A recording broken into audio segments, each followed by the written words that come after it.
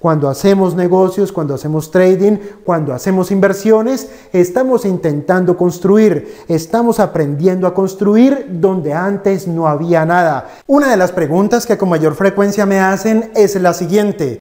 Angelo, ¿cuánto tiempo puedo tardar en convertirme en un buen trader y en convertirme en un buen inversionista? ¿Cuánto me puedo demorar? ¿Cuánto es lo normal? ¿Cuál es el tiempo promedio? Y siempre respondo lo siguiente, yo no lo sé, nadie lo sabe y eso depende. La mayoría de las personas asocian aprender a invertir o aprender a hacer trading con la educación universitaria o con la educación escolar.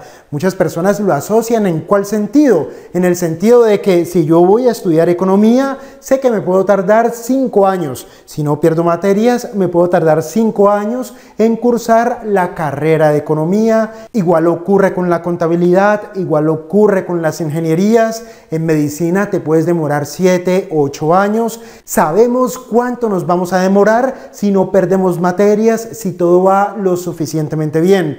En el campo del trading y en el campo de las inversiones, esto no funciona. ¿Por qué no funciona? Porque el trading y las inversiones son un negocio. ¿Qué quiere decir esto? Que cuando nosotros nos educamos financieramente para aprender a invertir o para aprender a realizar operaciones de trading, en el fondo nos estamos educando, nos estamos calificando, estamos desarrollando habilidades para tomar decisiones, para tomar decisiones por cuenta propia.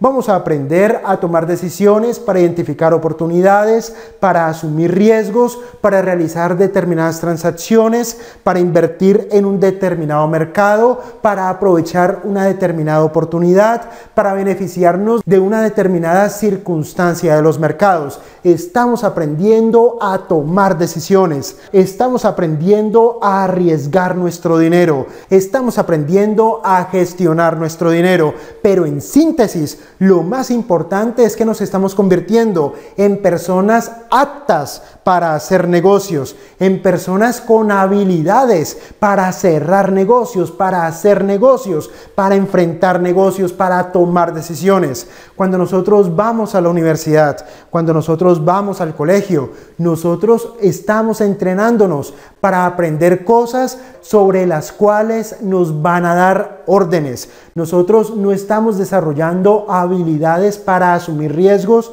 para tomar decisiones. ¿Cuál es la verdadera diferencia que existe entre la educación financiera que consiste en aprender a tomar decisiones, en aprender a asumir riesgos, frente a la educación tradicional como es la universidad o como es el colegio? La verdadera diferencia es que cuando tú aprendes a tomar decisiones, esto tiene que ver con tu fuero interno, esto tiene que ver con tu carácter, esto tiene que ver con tu criterio, esto tiene que ver con tu personalidad, esto tiene que ver con tu fuero interno, con tu desarrollo personal. Tu capacidad para tomar decisiones no tiene absolutamente nada que ver con tu intelecto. Cuando nosotros vamos a la universidad, cuando vamos al colegio, cuando vamos a la primaria, estamos desarrollando el intelecto, estamos llenando nuestro cerebro de información, de todo tipo de información. No estamos aprendiendo a tomar decisiones, no estamos aprendiendo a enfrentar situaciones de riesgo, no estamos aprendiendo a enfrentar situaciones de pánico, no estamos aprendiendo a enfrentar imprevistos, no estamos aprendiendo a hacer negocios ¿Qué quiere decir en el fondo esto? Que los negocios es algo impredecible. En cambio, en la universidad nos estamos educando para hacer cosas que son totalmente predecibles.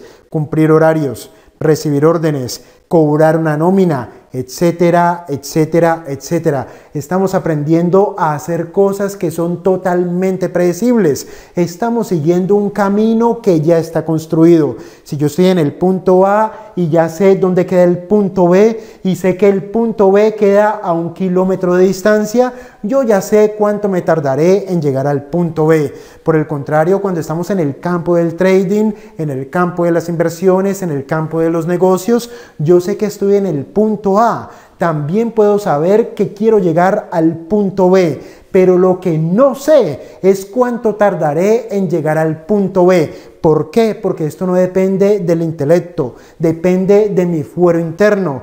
¿Cuánto nos podemos tardar en aprender a invertir? Nadie lo sabe. ¿Cuánto nos podemos tardar en aprender a ser unos excelentes traders? Nadie lo sabe. ¿Cuánto nos podemos tardar en llegar a la consistencia? Nadie lo sabe.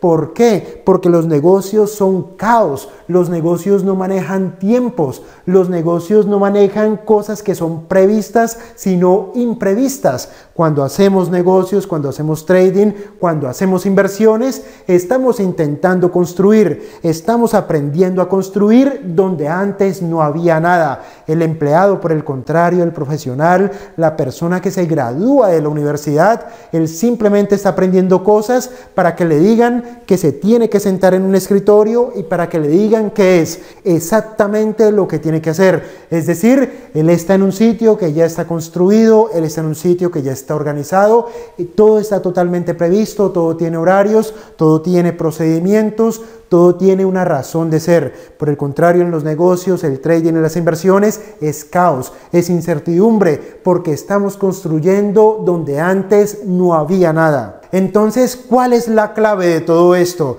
Que tú tienes que saber que vas a vivir un proceso, pero no te puedes meter presión para vivir ese proceso.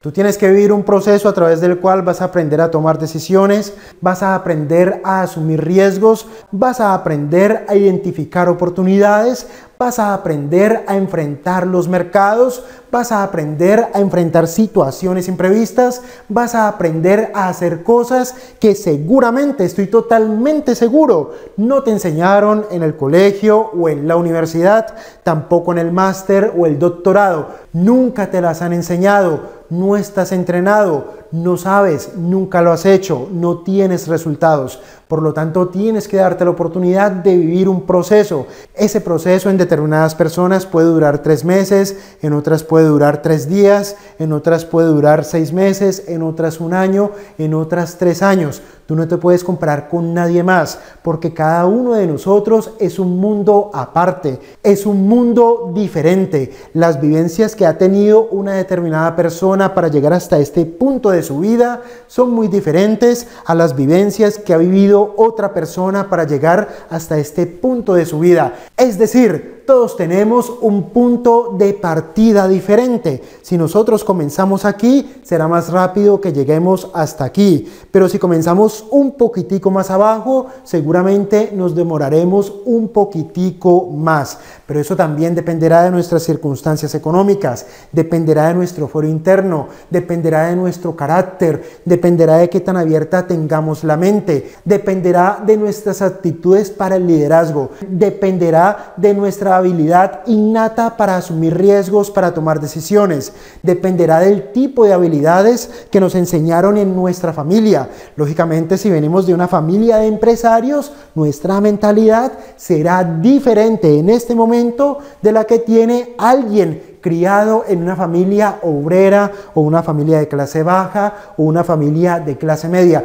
Es totalmente diferente, el punto de partida es diferente, sus motivaciones son diferentes, su personalidad es diferente, pero lo que todos y cada uno deberán vivir es un proceso. Lo que no sabemos es cuánto demorará ese proceso, pero te tendrás que dar la oportunidad de vivir ese proceso, porque vivir ese proceso será la puerta de entrada a tu libertad financiera. Hasta pronto.